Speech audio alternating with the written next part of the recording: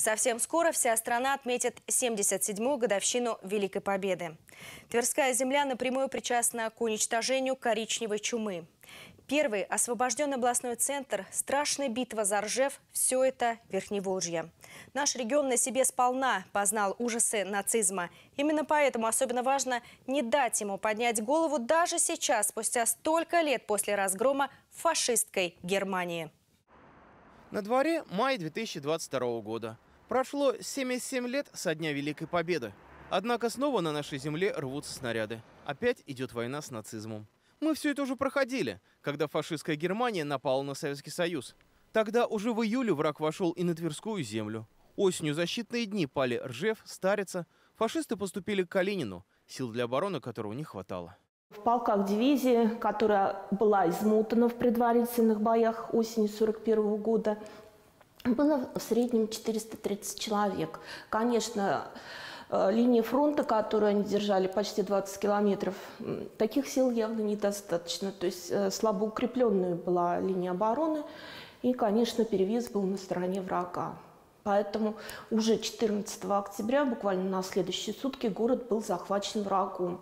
К счастью, по сравнению со многими другими советскими городами, Калинин менее двух месяцев находился в оккупации. Он стал первым областным центром, окончательно освобожденным от нацистов. Следующим важным этапом сражений на Тверской земле стала Ржевская битва. Она вошла в число самых кровопролитных сражений Великой Отечественной войны. Вот что вспоминает Иван Кладкевич об одном из боев, произошедших в феврале 43-го. И в этом бою в течение двух-трех часов погибло с нашей стороны погибло. 70 человек было убито, и 547 человек было ранено. 22 февраля 43 года для меня был второй день рождения. Ржев был освобожден в марте 43 -го года. Его значение понимали даже наши союзники. Неудивительно, что с освобождением города Сталина лично поздравил Черчилль, а сам верховный главнокомандующий именно сюда единственный раз за всю войну приезжал на фронт. Черчилль поздравил Сталина по случаю освобождения нашего города. Он написал ему письмо 4 марта. Черчилль знал, что Сталин большое значение придает Ржеву. Действительно так. Верховный ведь сюда приезжал, это уже известный факт, достоверный факт. Зачем Сталин сюда поехал? Многие спрашивают, ну зачем поехал? Мы считаем, что все-таки он поехал посмотреть, что же это за место, откуда больше года столице угрожал враг. Значение событий, происходивших на Калининской земле, подчеркивает присвоение сразу двум городам региона званий «Город воинской славы», а также строительство грандиозного мемориала советскому солдату под Оржевом. В 2020 году на церемонию открытия прибыли главы сразу двух государств – России и Беларуси. Сдавался мемориал по инициативе ветеранов-фронтовиков, которые также стали почетными гостями мероприятия. Даже теперь, спустя почти 80 лет со дня Великой Победы, мы не должны забывать, что нацизм – это большое зло. Достаточно вспомнить трагедию деревни Ксты Пеновского района. Старики, женщины, дети, те, кто не могли оказать сопротивление противнику. При отступлении из Пеновского района в период Таропецко-Хумской наступательной операции эсэсовцы сожгли жителей деревни, 78 человек, выжить одной осталась, э, одна женщина. Преступления похожи на те, которые сегодня проходят на Украине. Прикрываясь мирными жителями, э, нацисты также выставляют их как живой щит и убивают. И здесь действительно обнаруживаются поразительные параллели между событиями 40-х годов и современными – жестокость нацистов, немецких, а теперь и украинских. Хотя, почему же теперь?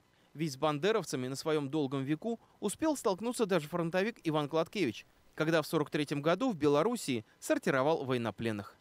И среди этих пленных немцев, они же сами немцы, немцы говорят, это ваши, то есть бендеровцы. Понимаете, это был октябрь 1943 года которые воевали вместе с немцами против нас.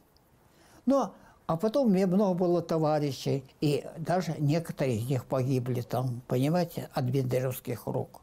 Если же возвращаться в нынешнее время, то поддерживающая нацистов киевская власть, устраивающая гонения на все русское, по сути не оставила России никакого выбора, кроме как провести операцию по денацификации. Массовый героизм в ходе нынешней спецоперации демонстрируют солдаты и офицеры из всех субъектов нашей Родины. Тверская земля, которая в свое время настрадалась от нацизма, не осталась в стороне. Вот и сегодня на территории соседнего государства проходит специальная военная операция по зачистке от националистов. Мы абсолютно поддерживаем президента Российской Федерации. Мы поддерживаем нашу армию, наших бойцов Росгвардии, которые принимают участие в этой специальной операции. Мы уверены в победе. Все понимают, что, как говорили в Великую Отечественную, наше дело правое. Тем более видя, например, во что превратили Мариуполь украинские военные. Это может подтвердить и тверской волонтер Даниил Тропкин. Он лично видел разрушенные дома. Ему рассказывали местные жители, как вели себя бравые бойцы ВСУ, которые говорили, что они всего лишь защищают простой народ Украины. Разворачивали около дома, ну, в, в дворах, вот в этих минометные позиции. И, конечно, прилетала ответка по этим позициям и задевала дома. Конечно. Были и случаи, когда снайпера простреливали там э, мальчика, я снимал ему интервью про него, и он рассказывал, как у него там мама погибла, дом разрушен. И вот э, он в один момент рассказывает, что вот снайпер украинский прострелил дяде ногу, потому что он там выходил что-то делать.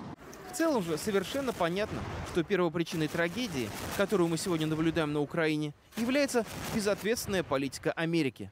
Ради достижения своих целей она стравливает украинцев и россиян.